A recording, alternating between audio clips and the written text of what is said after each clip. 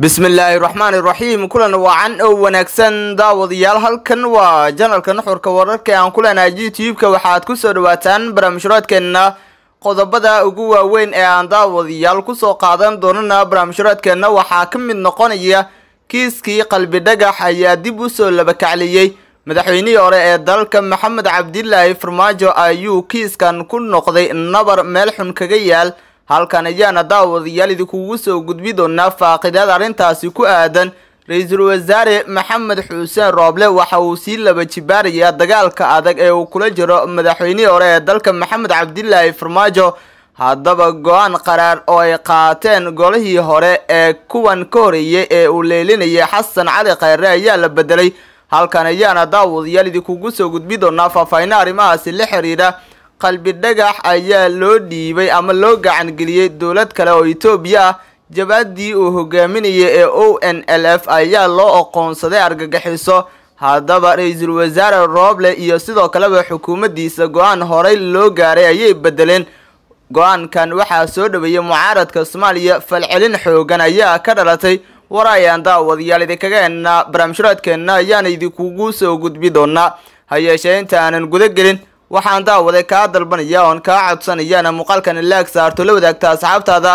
adigoo sabskraibe inoo saarayay janalka oo furanaya gambaleelkaasi durbadiiba aad u hesha muuqaaladan halkan soo gelino sidoo kale daawaday muuqaalka qaybtiisa hoose ee faalada lagu gudbiya commentiga aragtidaada inagula wadaag. Markana daawaday waxaad ku soo dhawaataa qodobadii dulmarkaa soo daawatay oo intaasi ka sii faah-faahsan anigoo ku bilaabaya. Madaxweynaha dowlad deegaanka soomaalida etoobiya mustafa cumar ayaa soo dhaweeyey go'aan ay shalay gaareen golaha wasiirada soomaaliya kaas oo looga noqday go'aan labada kun toddoba iyo tobankii ay gaareen golihii wasiirada ee uu hogaaminayay ra'iisul wasaarihii kan ka horeeyay ee xasan cali khayre. Mustafe ayaa sidoo kale soo dhaweeyey in golaha ay ka xun yihiin in gacan cadow loo geliyay cabdikariin sheekh muuse qalbi dhagax.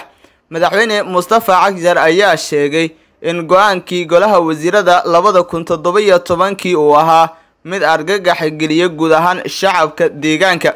Dhanka kale afhayeenka ururka o n l f cadaani hermoge ayaa b b c da waxa uu sheegay in ay soo dhaweynayaan go'aanka golaha wasiirada ee xukuumadda uu hogaamiyo ra'iisul wasaare maxamed xuseen rooble. Ra'iisul wasaaraha xukuumadda xilgaarsiintii ee soomaaliya injineer maxamed xuseen rooble ayaa magaalada nairobi ee caasimada dalka kenya kula kulmay cabdikariin sheekh muuse qalbi dhagax saddex iyo tobankii agoosto labada kun kow iyo labaatan sannadkii ina dhaafay. Sawirkaas oo dhaliyey hadalhayn badan oo dhanka baraha bulshada. Kulankiisa ra'iisul wasaare rooble ee nairobi waxay ka dhigan tahay in markii ugu horeysay uu la kulmay mas'uul xil sare ka haya dowladda tan iyo markii la soo daayey baarlamaanka soomaaliya ayaa kal hore diiday go'aankii golaha wasiirada ee labada kun toddoba iyo tobankii iyada oo madaxweyne maxamed cabdilaahi farmaajo madaxweynihii hore ee dalka uu markaasi sheegay in uu waafaqsan yahay go'aankii baarlamaanka ee diidmada ahaa. Kulankii golaha wasiirada ee dhacay shalay oo taariikhdu ay ku aasteysneed saddex iyo janaayo labada kun labaiyo labaatan ayaa sidoo kale lagu go'aamiyey in ay qalad ahayd tallaabadii etoobiya loogu dhiibay cabdikariin sheekh muuse qalbi dhagax sida uu warbaahinta u sheegay wasiiru dowlaha xafiiska ra'iisul wasaaraha cabdixakiim ashkir. Haddaba sida ay wax u dhaceen haddaynu eegno markaan daawadayaal sida lagu qoray wakaalada wararka u faafisa dowladda soomaaliya ee zona sannadkii labada kun toddobiyo tobankii guddiga baarlamaanka ee kiiska qalbi dhagax baariyey wuxuu sheegay in jabaadda o n l f aan loo aqoonsan in ay tahay urur argagixiso balse sidoo kalena la tixgeliyo siyaasadda dalka ee ku salaysan in aan aqoonsi iyo gabaad midna la siin ururada markaasi hubaysan ee ka soo horjeeda nabadgelyada iyo jiritaanka dalka iyo waddamada deriska ah iyo guud ahaan dunida inteeda kale. Xildhibaan cali yuusuf cali xoosh guddoomiyaha guddiga baaritaanka sameeyey ayaa tilmaamay in ay u soo baxday baaris kadib in o n l f uusan caalamka u aqoonsaneyn aysan ahayn urur argagixiso maadaama aysan ku jirin diiwaanka argagixisada caalamiga ah. Qoraal ka soo baxay dowladda soomaaliya bishii sebtembar labada kun toddobiyo tobankii ayaa lagu sheegay in qalbi dhagax uu ahaa shaqsi ku oolanaa falal lidi ku ah ammaanka soomaaliya iyo etoobiya isagoo gacan saar la lahaa kooxda al-shabaab wasiirka warfaafinta oo yariiso markaasi uu ahaa ayaa ka hadlay dhiibista qalbi dhagax rabbi ha u naxariistee injineer cabdiraxmaan cumar cismaan yariisow duqii hore caasimada soomaaliya ahaana guddoomiyihii gobolka banaadir ayaa arrintan la wadaagay warfaafinta. Golaha wasiirada waxay hoosta ka xariiqeen in shaqsigani uu ahaa sargaal sare oo ka tirsan jabhadda hubaysan ee o n l f isla markaasna uu falal lidi ku ah amniga dalka uu ka dhex waday geyiga soomaaliya iyo mandiqada iskaashi dhowna la lahaa kooxaha argagixisada ee al-shabaab ayaa lagu yidhi dhambaalka ka soo baxay dowladda horaantii bishii sebtembar markana daawadayaal haddaynu eegno haddaba waa kuma cabdikariin sheekh muuse qalbi dhagax. Qalbi dhagax waxa uu muddo dheer ka mid ahaa jabhadda o n l f. Xilal kala duwanna ayuu ka soo qabtay xilkii ugu dambeeyey ee uu ka hayay waxa uu ahaa hogaanka arrimaha gudaha iyo xubin ka tirsan guddiga fulinta ee ugu awooda badan jabhadda sida ay noo xaqiijiyeen xubno ka tirsan o n l f. Sidaasi darteed wuxuu noqonayaa xubnihii ugu sarreeyey ee o n l f ka tirsan oo u gacan galay etoobiya balse ma ahan kan keliya ee soomaaliya markaasi gudaheeda inta laga qabto loo wareejiyo etoobiya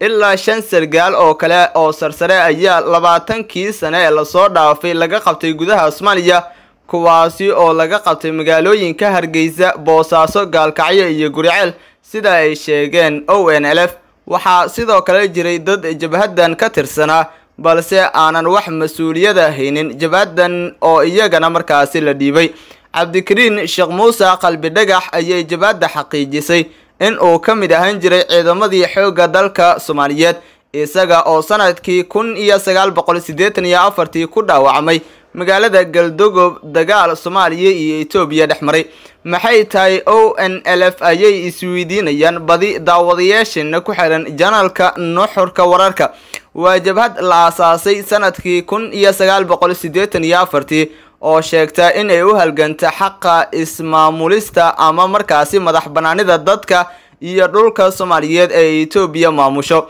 Jabhadda xureynta ogaadanaya ayaa waxa ay in muddo markaasi dheer la dagaalamaysay dowladda etoobiya waxaana jira weeraro badan oo dowladda etoobiya ay ku eedeysay jabhaddan dowladda deegaanka markaasi soomaalida ayaa sheegtay in la wiiqay awooddii o n l f ee gudaha waxaa jabhadda guddoomiye ka ah cabdiraxmaan sheekh maadey oo horey u ahaan jiray taliyihii ciidamada badda soomaaliya. Sanadihii dhowaa waxa ay markaasi dirar u dhexaysay ciidamada jabhadda iyo kuwa dowlad deegaanka soomaalida etoobiya o n l f oo muddo dheer dagaal kula jirtay etoobiya ayaa sanado ka hor heshiisa la gashay etoobiya waxaana loo diiwaan geliyey in ay noqoto xisbi siyaasadeed. Inkasta oo aysan ka qaybgelin doorashooyinkii labada heer ee dhowaan dhacay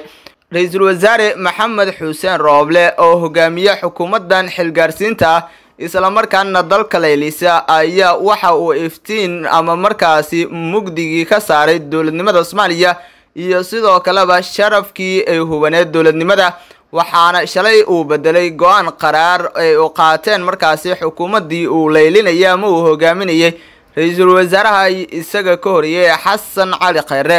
khayre ayaa waxa ay xukuumaddiisu cabdikariin sheekh muuse qalbi dhagax u gacangelisay dowlad kale oo etoobiya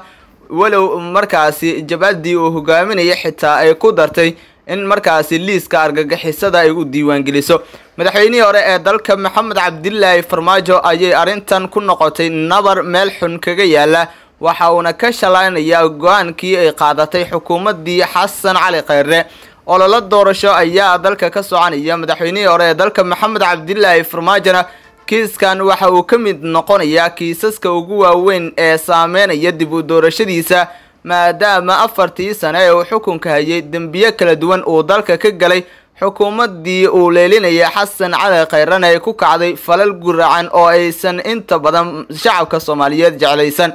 Hadda madaxweynihii hore ee dalka maxamed cabdilaahi farmaajo waxa uu ku jiraa ololo doorasho kiisaska ugu waaweyn ee saameynayana waxaa ka mid ah kiiskan oo iminka aanu ka soo hadalnay cabdikariin sheekh muuse qalbi dhagax oo ahaa muwaadin soomaaliyeed islamarkaana loo gacangeliyey dowladda dalka etoobiya si walbay ahaataba xaaladda ayaa la rogrogayaa ra'iisul wasaarihii hore ee dalka xasan cali khayre ayay sidoo kale arrintan saameyn kartaa ra'iisul wasaaraha iminka jooga ee rooble ayaa sidoo kale sumcad iyo sharafba ku helay mucaaradka soomaaliya ayaa arrintan si weyn kaga falceliyey. Xasan sheekh maxamuud cabdiraxmaan cabdishakuur warsame sheekh shariif sheekh axmed iyo sidoo kaleba mas'uuliyiin kale ayaa arrintan ka hadlay oo uu ku jiro mahad salaad cabdiraxmaan oodawaa iyo sidoo kaleba xildhibaan fiqi. Arrintanna si weyn ayaa looga hadalhayaa bulshada soomaalida dhexdeeda. Guud daawadayaal waa inageynta barnaamijhuraadka janalka nuxurka wararka aan ku leenahay youtube-ka muuqaalkan laag inoo saar subscribe inoo saar janalka fura gambalaalka